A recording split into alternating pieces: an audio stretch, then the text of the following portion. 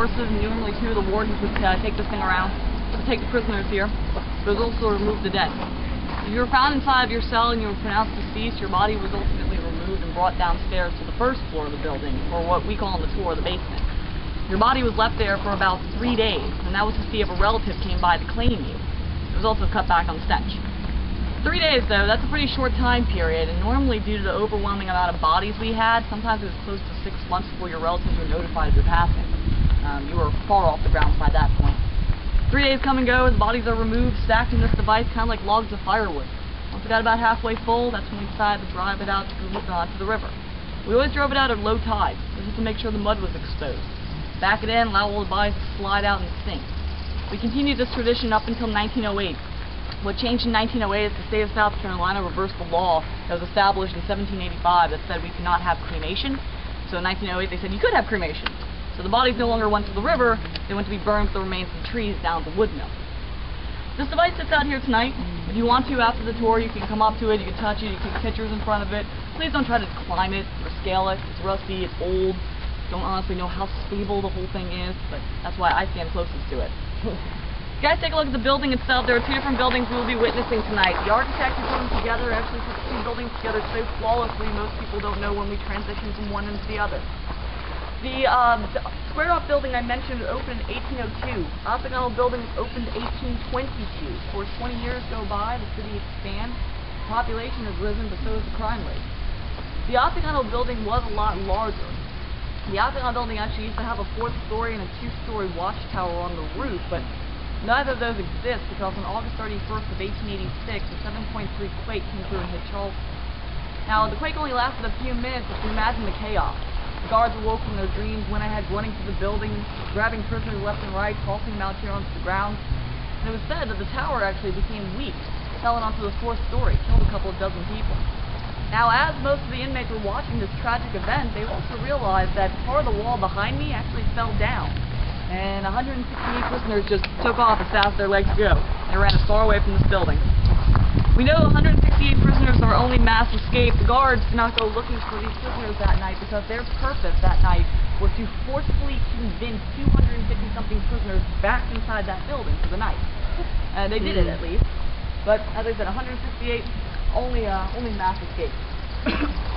now there were several ways you could possibly die here at the jail. Uh, one that's pretty traditional is being executed.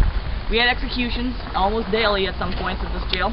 Our gallows no longer exist because Hurricane Hugo decided to stop on by in 19, uh, 1989 to kind of knock them over for us. But the gallows, uh, I can show you the site where they once stood. Now, our gallows were set up differently than what most of y'all are probably imagining at this moment. They're called private gallows.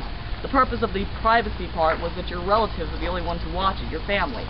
It wasn't actually to witness your execution, it was to take your body after your death. I'll show you the site.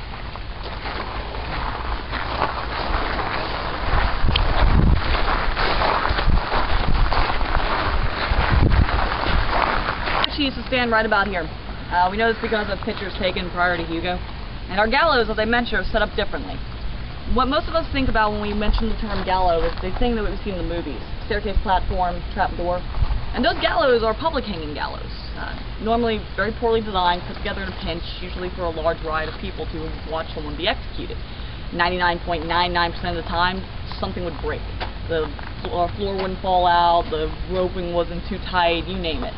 And so it wasn't a really great sound structure. We needed something that would be permanent here on the ground, so we went ahead and modified the gallows. We took out the platform, sends the scaffolding up to 30 feet high, added a pulley system and a weight. We called a weight-bearing model. We weren't using your weight to kill you, we were using someone else's huge solid weight to drop into a five-foot well. On paper, this seems like a great idea. Drop the weight, the thing goes up, neck will break. The problem is, this works under one condition. You weigh right around 150 pounds. If you weigh under or over by a significant amount, this could be disastrous. So let's say you weigh under. The weight drops down quite quickly, the victim's going to be risen up in the air like a rocket ship, and normally the rope's going to catch in that pulley system, tightening the rope around the neck so much that's going to actually pop the head off the shoulder blade. Instant decapitation. On the other hand, if you weigh over 150, the weight just moves down the well slowly rises you up in the air, dangles you like a fish, and kills you through, through slow and painful suffocation. Longest on record, supposedly, is over 40 minutes. We never actually redid a hanging here at the jail. And the last time it was used on our grounds was in 1911. In 1911, the last man to be executed by the state of South Carolina through hanging was right here in Charleston. the man by the name of Daniel Duncan. Daniel Duncan was 17 years of age and convicted of murder here in the city. The story is that he walked into a tailoring shop down on King Street, went to go get a pair of pants tailored. When he walked in, he happened to see a trail of blood, and of course, curiosity got the best of him. Followed it around, saw the tailor stabbed several times in the chest and throat. He knelt down next to the man to see if there was any life left, and when he realized that the tailor was dead, he did what any normal individual would do. He panicked. He wanted to run out of this building as fast as possible, go home and scrub the blood off his body. He ran out, of course, but unfortunately, Mr. Duncan did not realize the shoemaker across the street happened to witness him walking in very calmly into the shop and come running out covered in blood. What would you think? Hmm. Probably the exact same thing the shoemaker did. So of course, the cops were called. They caught up with Daniel two days later, and at trial they found him guilty under very minimal evidence. They used the bloody clothing against him as well as the eyewitness, quote-unquote, of the shoemaker. But the real underlying reason why Daniel was to be executed as a murderer here in Charleston because Daniel was 17 years of age and black. The victim was white. The racial tensions in Charleston were still quite high. So he was sent here to our jail for six weeks, labeled as a murderer. Now, on the day of his execution, his parents were here. It was said that Daniel was probably a uh, only child. They sobbed uncontrollably throughout the entire duration, and during those six weeks, Daniel had a chance to get his mindset into a calm place, try to mentally prepare himself for his execution, try to keep a brave face on for both his mom and dad. Unfortunately, though, when the day of the hanging occurred, Daniel weighed over 200 pounds. Mr. and Mrs. Duncan watched their only son gasp for air and finally succumb to death after several minutes. His body was taken to a potter's field right off the meeting street. His parents were not wealthy by any means. They could only afford to go ahead and buy a plot, no headstone. So the next morning, the paper had a huge front page article about Daniel's execution. And it was said that the real killer read that article. He felt so overwhelmed with guilt that this young man had to die because of his actions. He turned himself into the police. The police realized they had a huge problem on their hands. Daniel was executed the night before, and this man is giving details about the crime that the police didn't even know about. So of course, they're going to have to correct something. Well, the real killer is sent to Columbia. He used to be electrocuted, uh, sent to the electric chair for his crime. And the Duncan family, although many would say the police department had to apologize, technically in those days they really didn't have to. But the arresting officers felt really guilty about what happened.